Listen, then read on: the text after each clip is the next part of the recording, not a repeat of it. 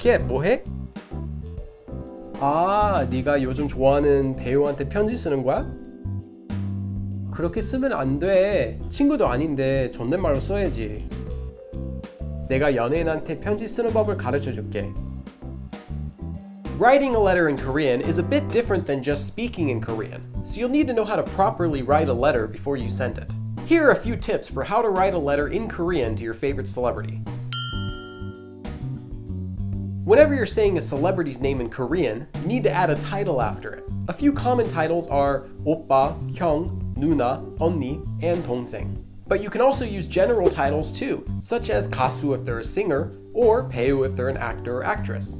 So to use a title, just take a celebrity's first name and attach the title right after it. So Charsu could become Charsu oppa for example, and Youngi could become Youngi nuna, among others.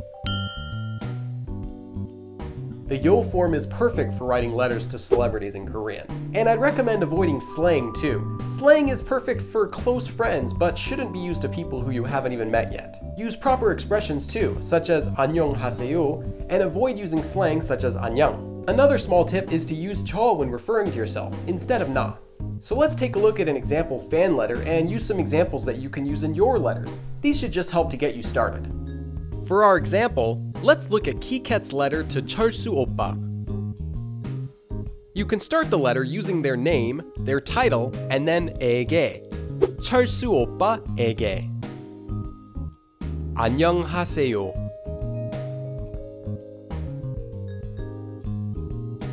For a quick introduction, you can use this phrase. 저는, and then you say your country, 에 살고 있는, then their name, pen, then your name, and then ieo if your name ends in a consonant, or yeo if your name ends in a vowel. 최근에, then their name followed by the subject marker, 나오는, and then you say where you saw them, such as in a movie or a drama. Then attach the object marker, followed by 정말 재밌게 봤어요. To say that they're your favorite, say their name followed by the topic marker, then 제가 제일 좋아하는, and then say what they are, such as an actor or a singer.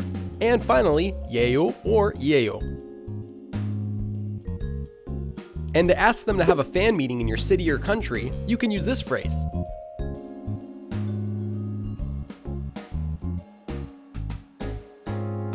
And to say what you're looking forward to, you can use this phrase.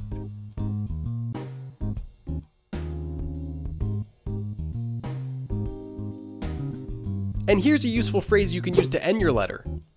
The literal meaning of this phrase is, you have fans who are cheering you on, so take care. How you write your letter is up to you, but I'd recommend keeping it short and simple. Start with a quick self-introduction, say what you want to say, and then finish with a thank you and your name. And this is kind of a secret, but if you add stickers, smiley faces, and drawings to your letter, it increases the chances of them noticing it. But don't tell them I told you this.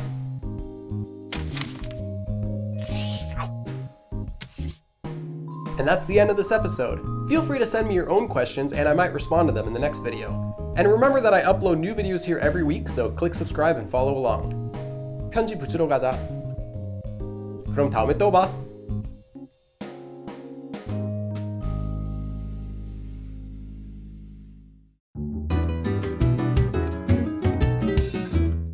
처음으로 말 회인가? 아니 말고기를 먹었어. 어, 이따 봐. 어. The food. Definitely the food.